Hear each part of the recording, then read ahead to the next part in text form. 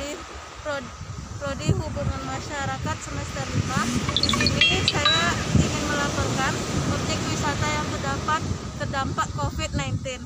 Dan sekarang saya berada di salah satu tempat wisata di Pariaman Sumbar yaitu eh, Pantai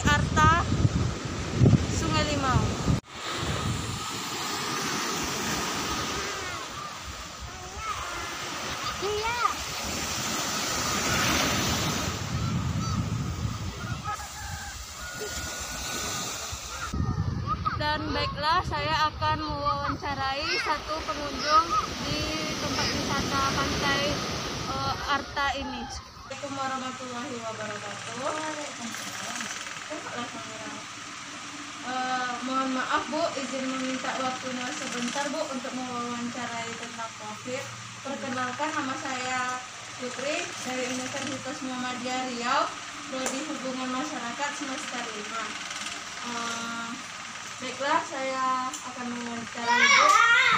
Eh, pertama, menurut Ibu, apa COVID-19 itu? Eh, menurut saya kalau COVID itu penyakit yang sangat berbahaya.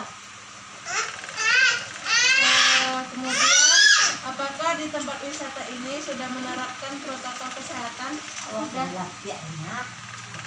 apakah ibu tidak khawatir ke tempat wisata di saat covid ini? Ya bagaimana lagi kita kan oh, membutuhkan ya jalan untuk menghibur um, mengisi waktu yang luang lah. Itu dulu. Apakah selama covid pengunjung wajib menggunakan masker selama berada di tempat wisata ini? Ada juga sih menurut menurut protokol yang memakai masker, ada juga yang tidak memakai masker. Eh, bagaimana jika terdapat pengunjung yang tidak menggunakan masker? Eh, baiklah, sekian pertanyaan dari saya, Bu. Terima kasih atas jawaban yang telah Ibu berikan. Wassalamualaikum warahmatullahi wabarakatuh. Assalamualaikum warahmatullahi wabarakatuh. Perkenalkan nama saya Putri dari Universitas Muhammadiyah Riau, Prodi Hubungan, Hubungan Masyarakat semester 5. Eh, mohon maaf eh, Pak, Eh, Pak izin meminta waktunya sebentar Pak untuk mewa- mewawancarai tentang COVID dan saya yang pertama. Apakah di warung Bapak sudah menerapkan protokol kesehatan? Sudah, Eh, bagaimana suasana di warung Bapak saat COVID? sepi. Apakah selama COVID eh, pembeli wajib menggunakan masker selama berada di tempat wisata ini?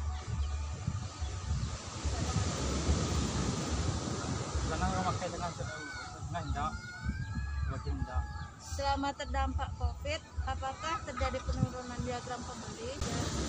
Iya, sepi. Baiklah, sekian pertanyaan dari saya, Pak. Terima kasih atas jawaban yang telah Bapak berikan.